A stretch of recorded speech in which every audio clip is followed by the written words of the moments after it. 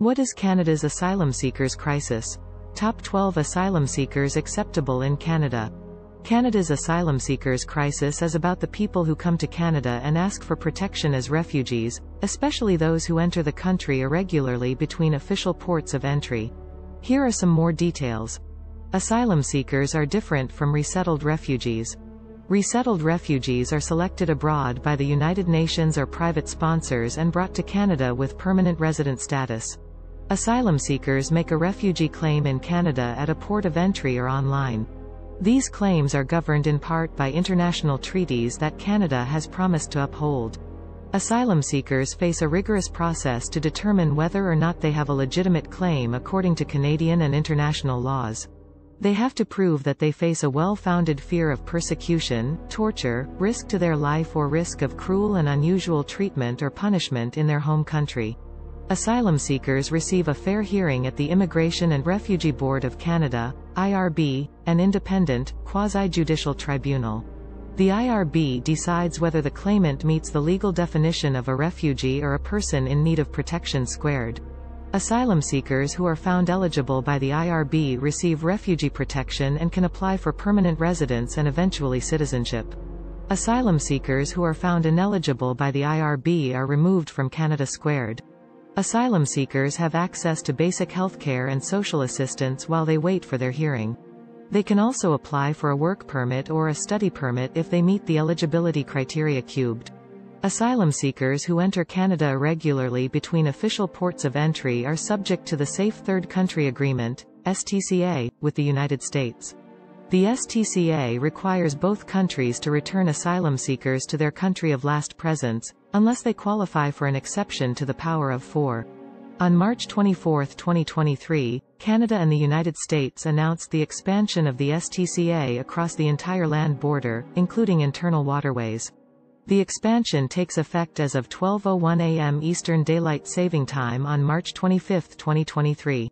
If asylum seekers cross the border irregularly and don't meet one of the agreement's exceptions, they will be returned to the U.S. to the power of four. The expansion of the STCA aims to prevent irregular migration and protect the integrity of Canada's asylum system. It also recognizes the rights and interests of vulnerable groups, such as unaccompanied minors, victims of human trafficking and stateless persons to the power of four. The number of asylum seekers entering Canada has increased significantly in recent years, reaching almost 40,000 in 2022 to the power of 5. Most of them crossed into Quebec at an unofficial border crossing at Roxham Road in Champlain, New York to the power of 5. This has put pressure on Canada's immigration system and social services, as well as on local communities and organizations that assist refugees. The influx of asylum seekers has also sparked public debate and political controversy in Canada. Some people support welcoming refugees and providing them with humanitarian assistance and integration opportunities. Others oppose irregular migration and question the legitimacy and security of asylum claims. Some also call for more cooperation with the U.S. and other countries to address the root causes of forced displacement. The federal government has taken various measures to respond to the asylum seekers crisis, such as increasing funding for refugee processing and settlement, relocating refugees from Quebec to other provinces, hiring a risk mitigation company to deal with the surge, and renegotiating the STCA with the U.S. to the power of 5 to the power of 6. The government has also reaffirmed its commitment to uphold its international obligations toward those who genuinely need protection. The asylum seekers crisis is not unique to Canada. It is part of a global phenomenon that affects many countries around the world. According to the United Nations High Commissioner for Refugees, UNHCR, there were 82.4 million forcibly displaced people worldwide at the end of 2020, including 26.4 million refugees. The main causes of displacement are war, violence, persecution and human rights violations.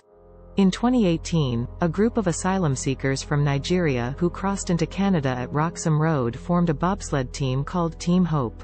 They trained at an indoor facility in Calgary with the help of former Olympian Pierre Lutters. They said they wanted to represent Canada at international competitions and inspire other newcomers. In 2019, a Syrian refugee who came to Canada as an asylum seeker in 2016 became the first refugee to be elected to the House of Commons.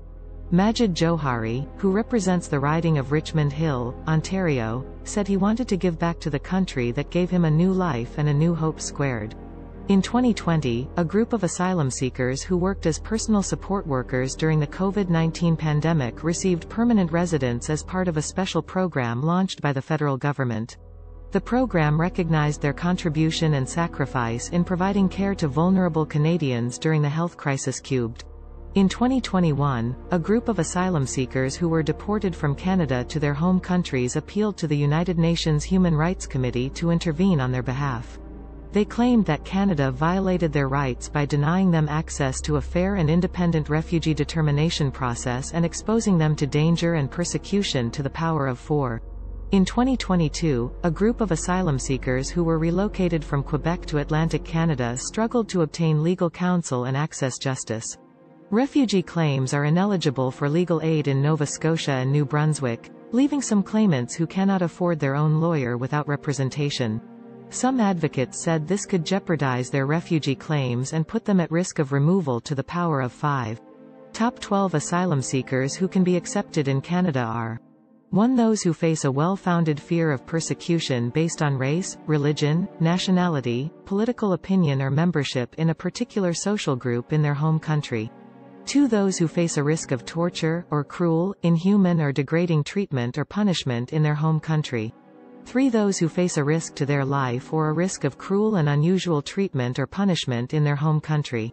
4. Those who are referred by the United Nations High Commissioner for Refugees, UNHCR, or another designated referral organization. 5. Those who are sponsored by private groups or organizations that agree to provide them with financial and emotional support for up to one year after their arrival in Canada. 6. Those who have family members in Canada who are Canadian citizens, permanent residents or protected persons. 7. Those who are unaccompanied minors, under 18 years old, who have no relatives or legal guardians in their home country or country of habitual residence. 8. Those who are victims of human trafficking or human smuggling who have suffered abuse or exploitation as a result of being trafficked or smuggled into Canada. 9. Those who are stateless persons, not considered as nationals by any state, who have been living outside their country of former habitual residence for more than three years and have no other durable solution available. 10. Those who are women at risk, single women or female heads of households, who face gender-based violence, discrimination or persecution in their home country or country of refuge. 11 Those who are lesbian, gay, bisexual, transgender, queer or intersex, LGBTQI, persons who face persecution or discrimination based on their sexual orientation, gender identity or expression in their home country or country of refuge. 12 Those who are journalists or human rights defenders who face threats, harassment or violence because of their work or activism in their home country or country of refuge. This crash course covers what asylum seekers are, people who come to Canada and ask for protection as refugees, especially those who enter the country irregularly between official ports of entry. How asylum seekers are processed, they face a rigorous process to determine whether they have a legitimate claim according to Canadian and international laws. They receive a fair hearing at the IRB and can be accepted or removed depending on the outcome. How asylum seekers are supported. They have access to basic health care and social assistance while they wait for their hearing. They can also apply for work permits or study permits if they meet the eligibility criteria. How asylum seekers are affected by the STCA. They are subject to an agreement with the U.S. that requires both countries to. Here is a song on Canada's asylum seekers. Verse 1. I left my home in fear and pain. I crossed the border in the rain. I hoped to find a safer place. A place where I could live in peace. Chorus. But now I'm here in Canada. I don't know what will happen to me. Will they accept me or reject me? Will they protect me or neglect me? I'm an asylum seeker in Canada. I'm waiting for an answer. Verse 2. I have a story to tell. A story of horror and hell. I have a right to be heard. A right to be free from the hurt. Chorus. But now I'm here in Canada. I don't know what will happen to me. Will they accept me or reject me? Will they protect me or neglect me? I'm an asylum seeker in Canada. I'm waiting for an answer. Bridge. I know that Canada is a land of compassion and diversity. I know that Canada is a land of justice and democracy. But I also know that Canada has rules and laws to follow. And I also know that Canada has challenges and problems to solve. Chorus. So now I'm here in Canada. I don't know what will happen to me. Will they accept me or reject me? Will they protect me or neglect me? I'm an asylum seeker in Canada. I'm waiting for an answer. Outro. I'm waiting for an answer. Asterisk asterisk asterisk we hope this video has given you a taste of all the incredible experiences Canada has to offer.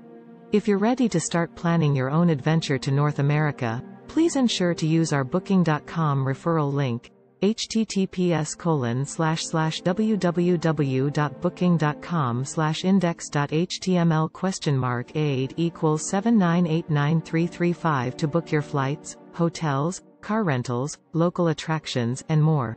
It's an easy and kind way to support this channel and make sure you get the best possible deals on your trip. Thank you, Anhub Metaverse team.